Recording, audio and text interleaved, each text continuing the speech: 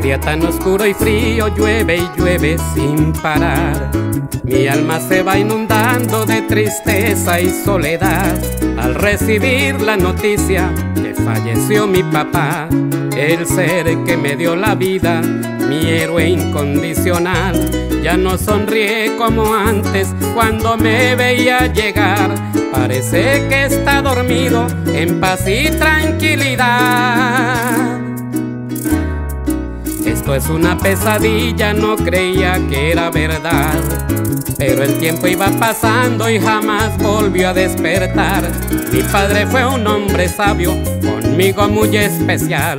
Los consejos que me daban me ayudaron a formar una persona confiable, honesta, humilde y capaz, con deseos de superarme y servir a los demás.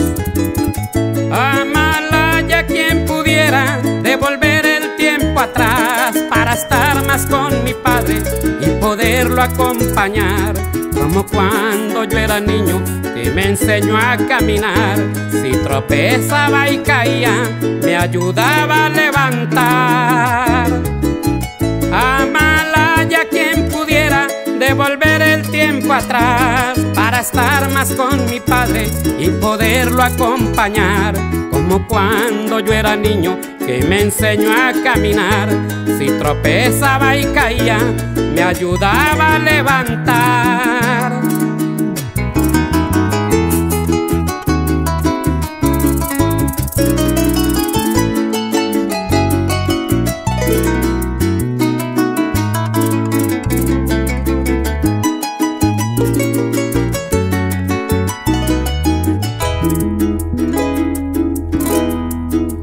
Ordenaba se hacía porque era una autoridad.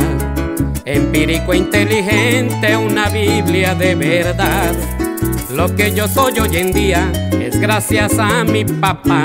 Para llegar donde estoy, duro le tocó luchar. Necesidades y angustias, muchas tuvo que pasar. Pero qué alegría tan grande al ver sus hijos triunfar. Muy bueno con sus hijos, con sus nietos, especial. Lo que más le preocupaba es que algo les fuera a faltar. Era pendiente de todo lo que había que organizar. Hasta el mínimo detalle se tenía que realizar. Nunca se dio por vencido ante cualquier dificultad. Entonces, ¿por qué Dios mío se me murió mi papá?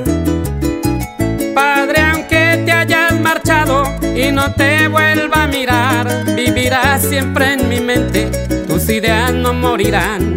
Sin mi padre en este mundo, la vida no será igual, pero sé que desde el cielo siempre me iluminará. Padre, aunque te hayas marchado y no te vuelva a mirar, vivirás siempre en mi mente, tus ideas no morirán. Sin mi padre en este mundo, la vida no será igual, pero sé que desde el cielo siempre me iluminará.